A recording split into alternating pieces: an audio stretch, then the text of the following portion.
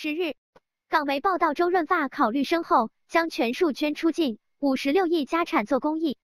妻子陈慧莲承认已设立好慈善基金，称会百分之百捐出去。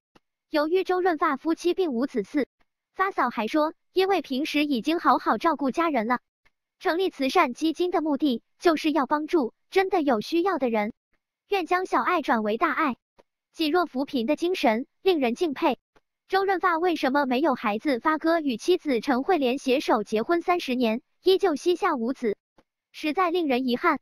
接下来跟随瑞观察，一起走入发哥与发嫂膝下无子的真实内幕。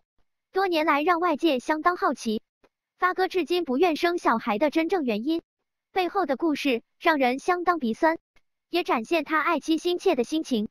一九九一年底的一天，怀上了宝宝的陈慧莲有了生产的征兆。发哥连忙将妻子送到医院，但不幸的是，由于脐带绕颈引起女婴窒息，经抢救无效，小孩夭折了。女儿刚诞生，还没来得及抱一抱就去了。陈慧莲无法接受这个残酷的现实，精神几乎崩溃。发哥也忍受着与妻子同样巨大的悲痛，他何尝不渴望能听到女儿叫他一声爸爸？可看到伤心欲绝的妻子，他强忍悲痛。告诫自己一定要坚强起来，以帮助妻子早日度过这一难关。为此，发哥几乎推掉了一切能推掉的片约和活动，日夜陪伴照料住妻子。虽说时间可以让人忘掉一切，但要真正做到谈何容易？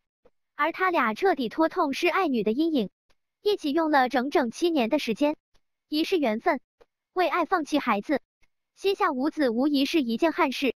但为了妻子免遭生产的痛苦和可能带来的危险，发哥毅然做出了不要孩子的决定。